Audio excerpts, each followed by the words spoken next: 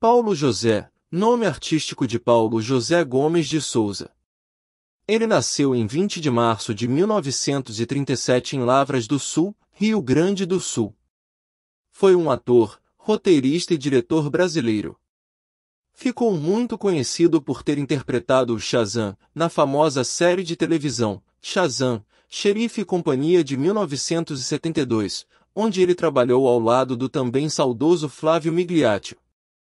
Seu currículo contém 48 trabalhos na televisão e 52 no cinema.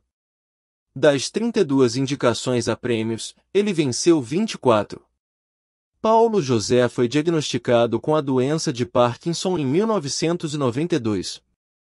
Faleceu aos 84 anos em 11 de agosto de 2021 no Rio de Janeiro, devido a uma pneumonia.